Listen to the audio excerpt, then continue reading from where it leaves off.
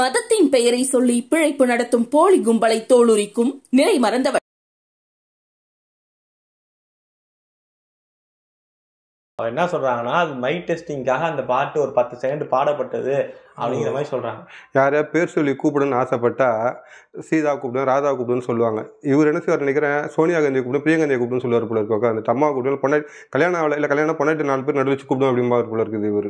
ஒரு மரியாதை வேணாமா? தேசத்தை வந்து தாயாக நினைக்கிற நாட்டில் வந்து உட்காந்துக்கிட்டு உனக்கு அது கிடையாது. இது வரைக்கும் காங்கிரஸும் சரி இல்லை இந்த கம்யூனிஸ்ட் கட்சியும் சரி ஏதாவது ஒரு முஸ்லீமை வந்து கட்சி தலைவராக அறிவிச்சிருக்காங்களா?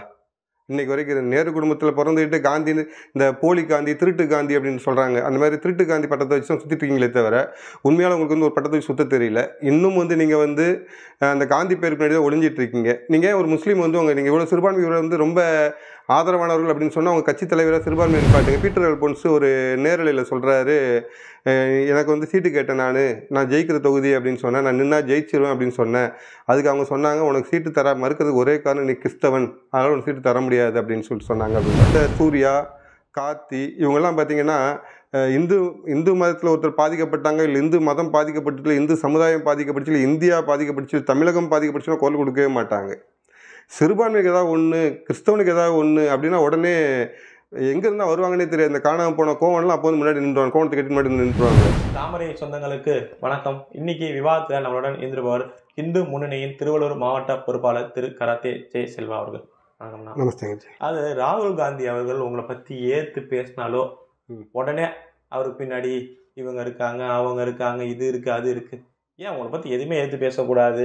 யாருமே உங்களுக்கு குற்றச்சாட்டே சொல்லக்கூடாதா? இல்லை எங்களை பற்றி அப்படின்னா இப்படி இந்தியர்களை பற்றி சொல்கிறீங்களா நீங்கள் நாங்கள் நீங்க இந்தியர்கள். உங்க- உங்க உங்க சித்தாந்தத்தை ஒத்து இல்லை நாங்கள் இந்தியர்கள். நீங்கள் சொல்கிறது அப்படி தான் பார்க்குறேன் இந்தியர்களை பற்றி சொன்னால் இங்கே வந்து சொல்லணும். இங்கே உட்காந்து எங்கள் நாட்டில் உட்காந்துட்டு இங்கே தின்னுட்டு இங்கே உட்காந்துட்டு எல்லாம் பண்ணிட்டு எங்கே போய் சொல்கிற நீ? வெளிநாட்டில் போய் உட்காந்து சொல்கிறேன் எவ்வளோ லண்டனில் போய் சொன்னேன்.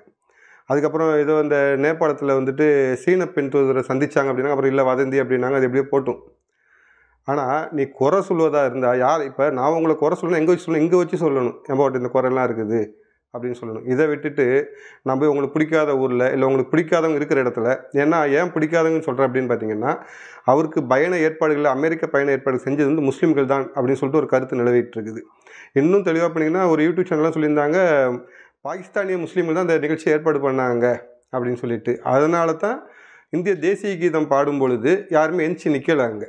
ஏன் எந்திச்சு நிற்கலன்னா பாகிஸ்தான்காரனுக்கு இந்திய தேசிய கீதம் பாடு போய் எந்திச்சு நிற்க போகிறான் அவர் என்ன சொல்றாங்கன்னா அது மைக் டெஸ்டிங்காக அந்த பாட்டு ஒரு பத்து செகண்ட் பாடப்பட்டது அப்படிங்கிற மாதிரி சொல்றாங்க. யாரையா பேர் சொல்லி கூப்பிடணும்னு ஆசைப்பட்டா சீதா கூப்பிடும் ராதா கூப்பிடுன்னு சொல்லுவாங்க. இவர் என்ன செய்வார் நினைக்கிறேன் சோனியா காந்தி கூப்பிடும் பிரியங்கா காந்தி கூப்பிடுன்னு சொல்லுவார் போல இருக்கு. அந்த அம்மா கூப்பிடும் பொண்ணாடி கல்யாணம் ஆகல இல்லை கல்யாணம் பொண்ணாட்டி நாலு பேர் நடுவில் கூப்பிடும் அப்படிம்பார் போல இருக்குது இவர். ஒரு மரியாதை வேணாமா? தேசத்தை வந்து தாயா நினைக்கிற நாட்டில் வந்து உட்காந்துக்கிட்டு உனக்கு அது கிடையாது. ஆனால் நாங்கள் தேச தாயா மதிக்கிறோம். நீங்கள் என்ன சொல்லி இந்தி நீங்கள் நீங்கள் சொன்னால் அது இந்துக்களை தான் இந்தியர்கள் வந்து தேச தாயாக மதிக்கிறோம்.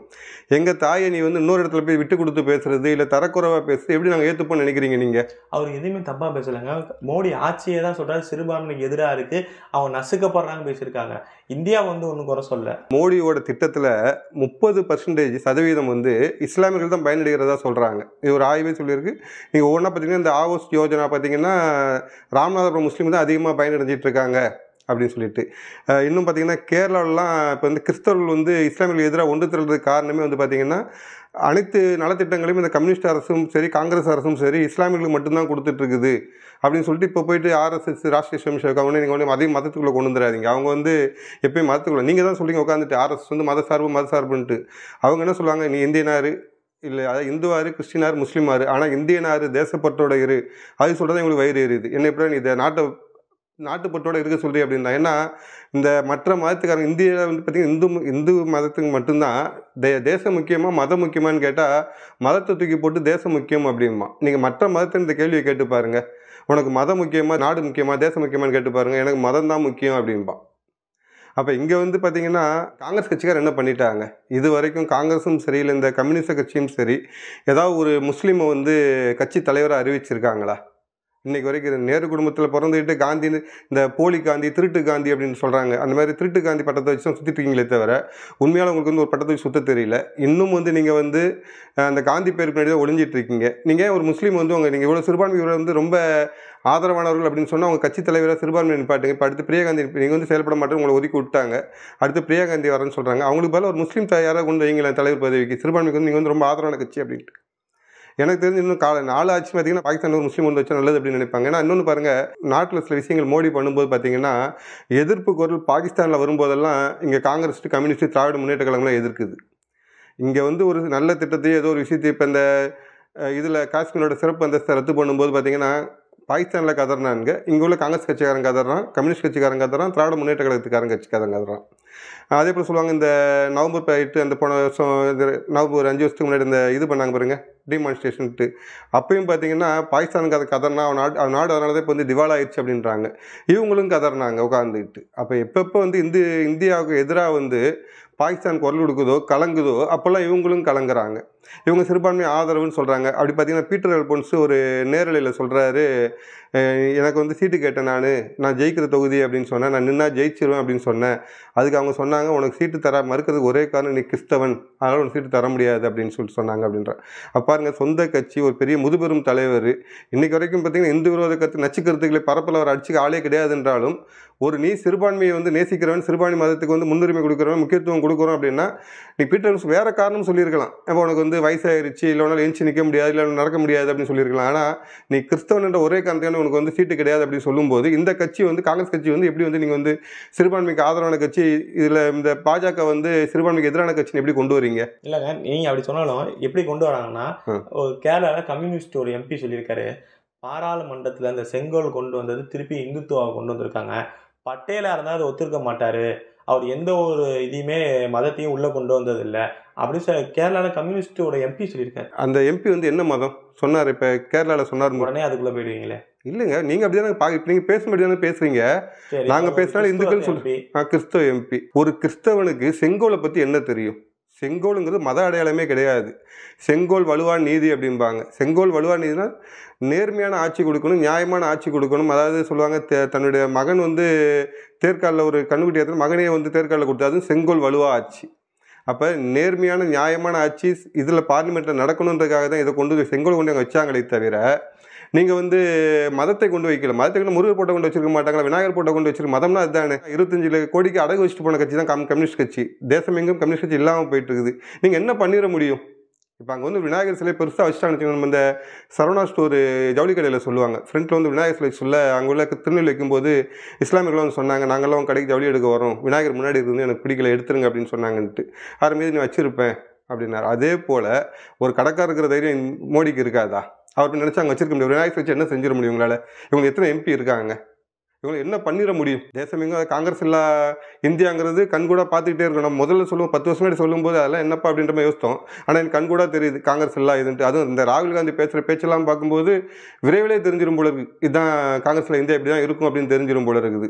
ஏன்னா இவர் எனக்கு தெரிஞ்சு இந்த பேசுகிற சொல்கிறேன் கம்யூனிஸ்ட் கட்சியும் சரி இந்த ராகுல் காந்தியும் சரி காங்கிரஸ் கட்சியும் சரி பாகிஸ்தானில் போய் இந்த கட்சியை நடத்தினாங்கன்னு வச்சுக்கோங்களேன் சீக்கிரத்தில் ஆட்சியை பிடிச்சிடலாம். அங்குள்ள முஸ்லீம் வந்து ரொம்ப சந்தோஷப்படுவாங்க. இவங்களோட இவரோட ஆட்சி இவரோட பேச்சு திறமை இவரோட வாதங்கள் இதெல்லாம் வந்து பார்த்தீங்கன்னா இங்கே உள்ள தமிழர்களுக்கோ இல்லை இங்கே உள்ள இந்தியர்களுக்கோ இல்லை இங்கே உள்ள சிறுபான்மையினருக்கோ ஆதரவாக பேசுகிற மாதிரியே தெரியல. வெளிநாட்டில் வாழ்கிற அந்நிய எதிரி நாட்டு முஸ்லீம்களுக்கும் எதிரி நாட்டு கிறிஸ்தவர்களுக்கும் ஆதரவாக தான் இவங்க செயல்பட்டு இருக்காங்களே தவிர இவங்க அதனால் அங்கே போய் கட்சி ஆரம்பிச்சாங்கன்னா கண்டிப்பாக ஜெயிச்சிருவாங்க இவங்க. இதெல்லாம் இதுதான் ஒரு வேற்று இது. இங்க இருக்கிற ஹிந்து எம்பி. வெங்கடேசன் அவர்கள் சொல்லியிருக்காரு பாராளுமன்றம் உள்ள நுழைஞ்சா எல்லாமே ஹிந்து தலைவர்களும் சமஸ்கிருதமும் இருக்குங்கிறாரு இவ இப்ப என்ன என்ன சொல்ல போறீங்க? இல்ல. இந்துங்க இந்து தான் இருக்கட்டும். ஆனால் கம்யூனிஸ்ட் இந்து அதான் பார்த்துக்கணும் பார்த்துருங்க இவங்க கம்யூனிஸ்ட்காரம்புறம் இந்து நீங்கள் சொன்னீங்கன்னா அதை விட ஒரு அபத்தம் எதுவுமே இருக்க முடியாது. இவங்களாம் கம்யூனிஸ்ட்லாம் இந்துன்னு சொல்லிட்டாலே என்னன்னா நான் அவனே சொல்ல மாட்டேன் எனக்கு தெரிஞ்சு. கம் கம்யூனிஸ்ட் அந்த எம்பியே சொல்ல மாட்டார் எனக்கு தெரிஞ்சு. அவர் சொல்கிறார் பாராளுமன்றத்துக்கு உள்ளே போனால் ஒரே அதிர்ச்சியாக இருந்துச்சு அப்படின்னு சொல்லிட்டு. அதிர்ச்சினா லைட் ஹவுஸ் வந்து ஹார்ட் அட்டாக் வந்துருக்கணுங்க. எனக்கு உள்ளே போனால் ஹார்ட் அட்டாக் ஆச்சு ஒரு வெளியில் கூட்டு வந்தேன் என்ன ஹார்ட் அட்டாக் பெட்டில் கூட்டு வரீங்க. உள்ளே பார்த்தா அதிர்ச்சி ஆகிட்டாருன்ட்டு நடிப்பு. சரி நீ என்ன சொல்கிறீங்க உள்ள போய்ட்டு எல்லாமே இது சாணக்கியரோட இது இருந்துச்சுன்ட்டு. சாணக்கியர் எப்போ மதத்துக்குள்ளே வந்தார்? திருவள்ளூரை மதத்துக்குள்ளே கொண்டு வந்தீங்க. அப்புறம் அவர் மதமே இல்லை. நீங்கள் இப்போ கிறிஸ்தவர்ன்றீங்க. அவையாரும் மதத்துக்குள்ளே கொண்டு வந்தீங்க? அவர் மதம் இல்லை இப்போ இவன் அந்த ஜவஹர்லாண்ட் ஒரு இவன் இருக்கான் பாருங்க. அந்த அல்லுமா பயங்கர இப்போ எம்எல்ஏ இருக்காப்புல அவர். அவர் வந்துட்டு அவையார் வந்து முஸ்லீம் இஸ்லாமியர் அப்படின்றாரு. முதல்ல இஸ்லாமியர் இவங்க வந்து இந்துக்கு இந்துக்கள் பூரா இல்லை. அவங்க தமிழர்கள் கிடையாது இந்துக்கள். இந்துக்கள் வேறு தமிழர்கள் வேறு. அப்புறம் பார்த்தீங்கன்னா கொஞ்சம் நேரத்தில் இவங்களாம் இஸ்லாமியர்கள். திருவள்ளூர் வந்து கிறிஸ்தவர் அவையார் வந்து இஸ்லாமிய இஸ்லாமியர். அதே போல் இந்த சு வெங்கடேசன் வந்து பார்த்தீங்கன்னா என்ன எதிர்பார்க்குறாருன்னு தெரியல எனக்கு. அவர் வந்து உள்ள பார்லிமெண்ட்டுக்குள்ளே போகும்போது பார்லிமெண்ட்டுக்குள்ளே போகும்போது இவர் என்ன செய்யணும்னா இந்த நம்ம அரேபிய நாடு இது பாகிஸ்தான் இதுக்கு போயிட்டு அங்கே போயிட்டு கேட்கணும். அங்கே முருகர் ஃபோட்டோ இல்லைங்க. என்ன அங்கேயும் சிறுபான்மை மதம் இருக்குல்ல இந்து மதம் இருக்குல்ல அங்கெல்லாம்? சிறுபான்மை இருக்காங்கல்ல. அவங்களுக்கு என்ன மரியாதை நம்ம ஊர் எம்பி நம்மள கேட்காம அங்க போய் எங்க கேட்கணும்? ஏங்க உலகம் முழுசு இப்போ என்ன சொல்றேன்னா நீ வந்து சாதாரண ஒரு அறிவில்லாத ஒரு சாதாரண குடிமகனா நீ வந்து கே இவர் எப்படி கேட்பாரு நீ வந்து எல்லாம் தெரிஞ்சவன் இருபத்தஞ்சு கோடி கட்சி அடகு வச்ச கட்சியில் இருக்கிற ஒரு தலைவர் மாபெரும் தலைவர் நீ. நீ என்ன செய்யணும்? இங்கே பெரும்பான்மை இந்துக்கள் பெரும்பாலும் இன்றைக்கி வரைக்கும் இந்துக்கள் தானே இருக்காங்க. ஒருவேளை இவங்க நினைக்கிற மாதிரி பீச்சுன்னு சொல்கிறாங்க ரெண்டாயிரத்தி ஐம்பத்தி ஏழு ரெண்டாயிரத்தி அறுபத்தில் இஸ்லாமிய தேசம் ஆகும் அப்போ வேணா மாறலாமே தவிர இப்போ பெரும்பான்மை மக்கள் இருக்காங்க பெரும்பான்மை இந்துக்கள் வசிக்கிறாங்க. இது இந்து நாடாக அறிவிக்கலைனாலும் இந்துக்கள் அதிகம் வசிக்கும் நாடு இது. ஏன்னா இந்துக்கள் அதிகம் வசிக்கிற நாடு இந்துக்கள் இந்தியா விட்டால் வேறு நாடும் கிடையாது. அப்போ இந்துக்கள் அதிகமாக வசிக்கிற நாட்டில் இது மதத்தோட விரோதத்தை எதுவும் கொண்டு வைக்கல. இப்போ நீங்கள் இந்த கஜினி முகம்னு ஒருத்தர் சொல்லுவாங்க. பதினெட்டு முறை படையெடுத்தான்ட்டு. ஆனால் அவனை பதினெட்டு முறை எதுக்கு படையெடுத்தான்? குஜராத்தில் உள்ள சோமநாதர் ஆலயத்தை கொள்ளையடிக்க வந்தவன் கொள்ளக்காரன் அவன் அவனை வந்து வீரத்துக்கு அடையாளமாகவும் வெற்றிக்கு அடையாளமாகவும் விடாமுயற்சி அடையாளமும் ஒரு முஸ்லீமை சொல்லிட்டு இருக்கீங்க. ஏன் அவனை விரட்டி அடித்த பிரித்திவி மகாராஜா இவங்க மாதிரி யாராவது சொல்ல வேண்டியதான வரலாற்றில்? வரலாற்று புத்தகத்தில் சொல்லி தரேன். அதுக்கு நீங்கள் எடுத்து கொள்ள கொடுத்துருக்கலாம்ல அன்னைக்கு? நான் பாடப்புத்தகம் பாடம் படிக்க சில பிள்ளைங்க பாடத்திட்டம் படித்து முடித்து எம்பி ஆனதுக்கப்புறம் பார்லிமெண்ட் உறுப்பினர் ஆனதுக்கப்புறம் எழுத்து கொள்ள கொடுத்துருக்கலாம்ல?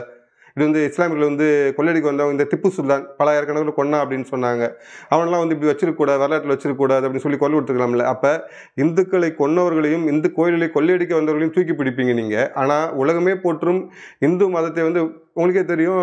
முன்னாள் அமெரிக்க அதிபர் வந்து பில் கிளின்டன் வரும்போது இந்தியா வரும்போது சொன்னார் இறங்கினோடனே போயிட்டு வரும்போது மண்ணை தொட்டு கும்பிட்டு சொன்னார். மண்ணை வந்து நான் அடுத்த பிறவியில் பிறக்க வரும்போது இந்தியாவில் தான் பிறக்க வரும்போது ஏன்னா மண்ணை வந்து தேசத்தை வந்து தெய்வமாக மண்ணை தெய்வமாக மதிக்கிற நாடு இந்த நாடு. நான் இந்தியனாக இருக்க பிறகு ஆசைப்படுறேன்னு சொல்லிட்டு போனார். அப்படி ஒரு அந்நிய நாட்டு உள்ளவங்கலாம் பார்த்தீங்கன்னா அதை சொல்லு இன்னும் சொல்லணும் பார்த்தீங்கன்னா இங்கே உள்ள கிறிஸ்தவர்கள் புறம் இங்கே உள்ள இந்துக்களை வா வா இங்கே எங்கள் இயேசு நல்லவன் கூப்பிட்டுருக்காங்க ஆனால் அந்நிய நாட்டில் உள்ள அரே மற்ற ஆங்கிலேய நாட்டில் உள்ளவங்க கிறிஸ்தவன் புறம் பார்த்தீங்கன்னா தானாக இந்து மதத்தை திரும்பிட்டு இருக்காங்க. இந்து மதம் தான் உன்னதமான தர்மம். இந்து மதம் தான் வந்து அறிவியல் ரீதியாக உண்மையானது. ஏன்னா இப்போ பைபிள் பார்த்தீங்கன்னா உலகம் தட்டையானதுன்னு இருக்கும். ஏன்னா கலியில் தான் கல்லால் அடிச்சு கொண்டாங்க தெரியும் நினைக்கிறேன் உங்களுக்கு. உலகம் உருண்டையானது எதிர்த்து சொன்னார். பைபிள் எதிர்த்து பேசுன்னு சொல்லிட்டு பாதிலாம் கல்லால் அடிச்சு கொண்டாங்க. இன்றைக்கி அவங்கெல்லாம் புரிஞ்சுக்கிட்டாங்க. பைபிள் வந்து வரலாற்றுக்கு எதிரானது அறி- அறிவியல் பூர்வத்துக்கு எதிர எதிரானது. அது வந்து ஒரு பல பேர் எழுதிய புத்தகம் அது அப்படின்ட்டு ஆனால் இங்கே இந்து தர்மம் ஆரம்ப காலத்துலேருந்து அந்த காலத்துலேருந்து எந்த இதனாலும் எடுங்க.